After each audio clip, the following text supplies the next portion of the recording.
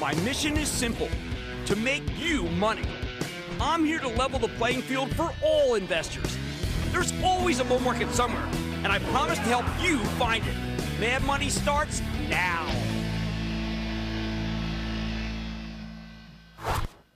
Hey, I'm Cramer. Welcome to Mad Money. Welcome to a special San Francisco edition of Cramerica. I'll be able to make friends. I'm just trying to save you some money. My job, not just to entertain, but put this one in context. Call me, 1 800 743 CNBC, or tweet me at Jim Cramer. Look, the market got crushed today. Dow tumbling 522 points, S&P plunging 1.71%, Nasdaq nosediving 1.79%. Why? Well, another 75 basis point rate hike from the Fed. Jay Powell's more or less saying he'll do whatever it takes to beat inflation. We'll be done when we are done. It's going to cause some pain in your pocket. But until the help wanted signs come down, until savings are diminished, until housing prices cool, until supply and demand get in balance, he fears, correctly, I think, that we will be ravaged down the road. It's kind of pain now or never. Those words may sound harsh, but they'll be soothing later on. We don't know when. Once the Fed's job is done, Powell's tough on inflation stance will be good longer term, which is why tech stocks initially did bounce in response. That was a thoughtful response, but then the whole market rolled over, driven by shorter term worries about the collateral damage from a Fed mandated recession that we talk about almost every night. The thing is, Powell's creating and preserving long term wealth, even as he crushes short term value, because over the long haul, persistently high inflation is much worse for the stock market and almost any other asset class, and you. It's just bad for you. What matters, though, is that we're living in Jay Powell's head right now. Obviously, nobody wants to lose money because of the Fed. But Powell knows you can lose money in two ways. You can lose it now, as we've been doing in this incredibly awful year, or you can see the value of your holdings erode gradually over time because of inflation. With a few years of high single digit inflation as we have now, the buying power of a dollar would be dramatically reduced versus where it is now. Powell's bringing the pain now in order to stop that from happening. So let me play with an open hand. As someone who lived through the 70s, I stand with Powell. I don't want my life savings or your life savings be eaten up by inflation. Now, I know, sure, hey, uh, Cramer, uh, what, what does it mean to you? You saved a lot of money. Okay, that's true. But it doesn't make me wrong. No matter how much you have, it will be worth less in a world of embedded inflation. That's a fact, a historical fact. There is no instance where inflation raged and your stock holdings actually increased in value over time. Powell doesn't want to bet on whether he can be the first central banker ever to break that pattern. He refuses to roll the dice. So he's punishing us now in order to save us from financial purgatory later on. As is often the case, there are two broad camps emerging as Powell vows to stay tough until the job is done.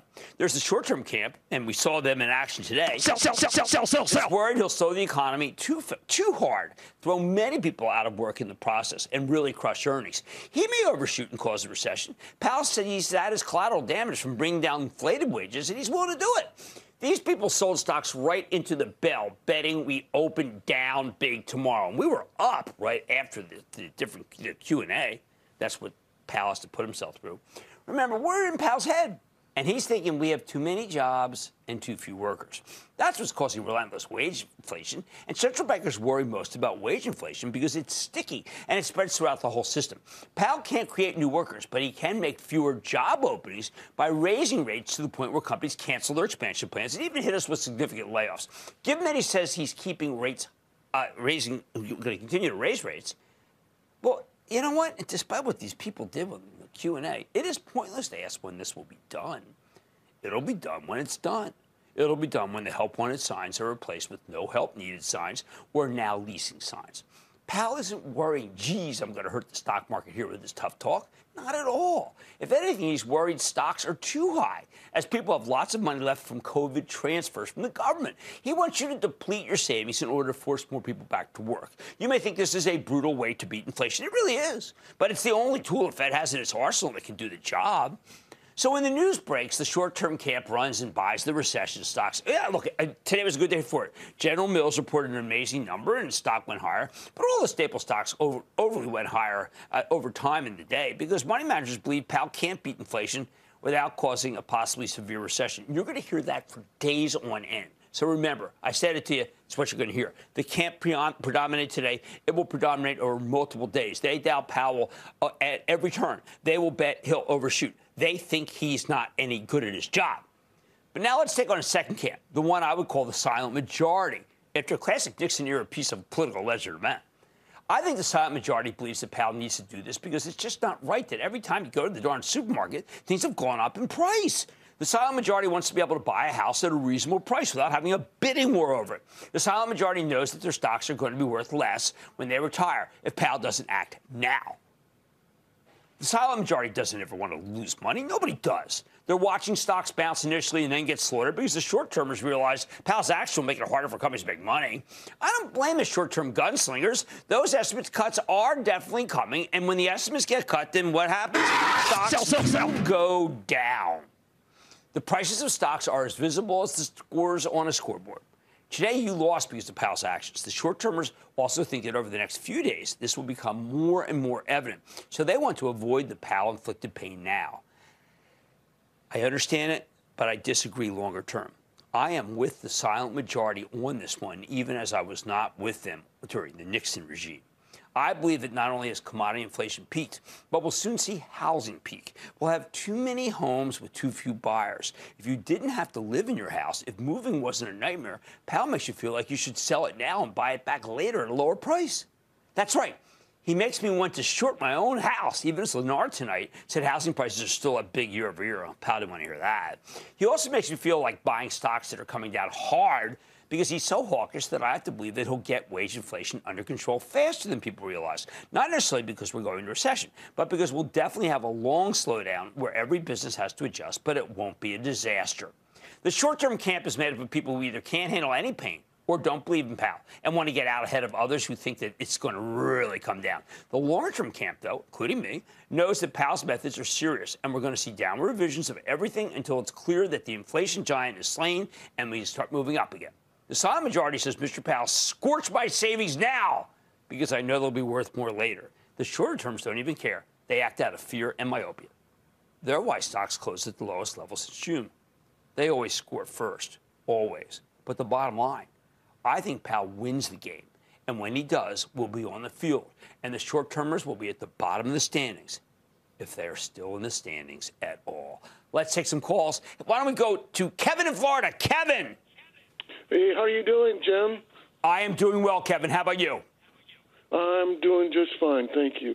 And, and I'm so glad you, you uh, allowed me on your show because I've got a, cu- a couple questions for you. Sure. I, I, I appreciate what you. Uh, uh, your, the knowledge you impart to others. The, Thank the, you, the, the call on, you, you're more than welcome, and we want me and my sweetie watch you every every night when we Thank enjoy you. it. Doing my Um, best. You're a tough, tough you year. know- What's up? Well, okay. Well, look at this. What the deal is? I, I got a, a, a question about Eli Lilly and Company, and just for the record, I, I worked there in new product planning and in sales, um, and, and and so um, and I I've, seen you had uh, uh, Ricks on David Ricks. Yes, he's been on a couple times. Well, look, uh, let, let, let me just tell you, this is a big holding for my charitable trust. We almost decided to buy some more now. We do fear that the drug stocks can go lower because it's a high price earnings multiple stock. But I think the future for Lilly is unbelievable for its weight loss drug. And I'm not even talking about what it may have for Alzheimer's. So I know you work there. And all I can tell you is hold on to it if you got stock and buy some more when it breaks to the 280s because it may do that because this market's so bad. Let's go to, and thank you for those kind words because this is one tough job I got right now. Let's go to Tyler in California. Tyler. Hey, big booyah from California, Jim. How you doing? I'm looking for you. I'm, I don't see you right now, but I'm sure you're here. What's up? All right, so looking at the charts for the potential uh, bear market plays. I want to know uh, if you think this is a bottom on ticker KR, Kroger. Kroger reported a great quarter. They're doing a fantastic job. The stock sells at 11 times earnings. I think the bottom is in hand, but the chart's so bad, people keep selling and selling and selling. Let's say 43. Okay, how about that? Now, I think Powell wins the game. I feel very alone right now.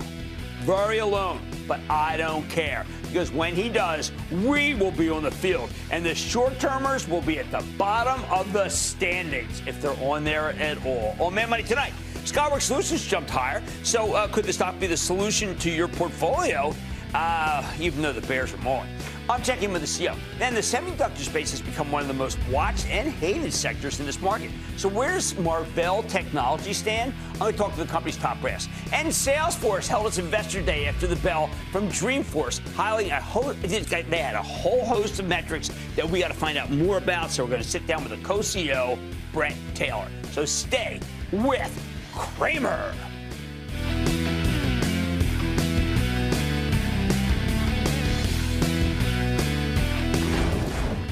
Miss a second of Mad Money. Follow at Jim Cramer on Twitter. Have a question?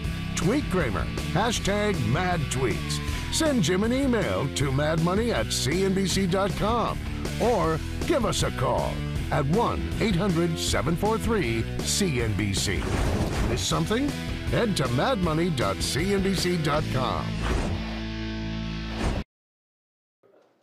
Shepard Smith here. Thanks for watching CNBC on YouTube.